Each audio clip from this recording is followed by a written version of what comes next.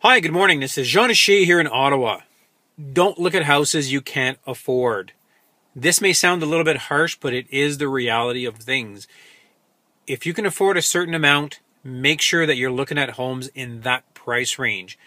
Because what can happen is that if you go in the range that's a little bit higher, you might be disappointed. I'm dealing right now with an offer on one of my properties, and the client fell in love with the property, but they can't afford the property. It's a little bit too high for them, and they're trying to make it happen, to make it work, because they love the house. They came in with a low offer. We're negotiating back and forth, trying to make them realize that the house that they're putting an offer on has a certain value, and the sellers are not willing to meet your budget. The house is worth a certain amount. If you cannot afford it, do not come visit the property.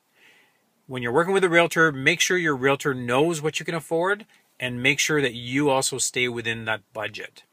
If you have any questions, if you want to discuss this a little bit more in details, feel free to give me a quick call or you can always email me at jeanricher at jeanricher.com.